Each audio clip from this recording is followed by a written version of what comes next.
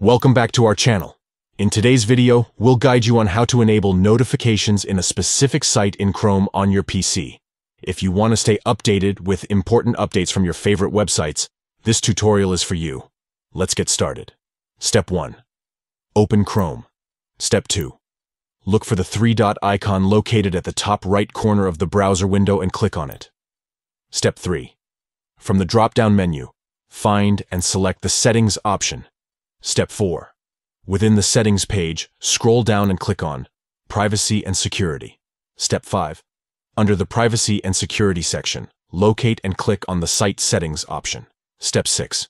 Within Site Settings, find and click on Notifications. Step 7. Look for the Allowed to Send Notifications section and click on the Add button next to it. Step 8. Add your site. Enter the URL of the website from which you want to enable notifications and click Add.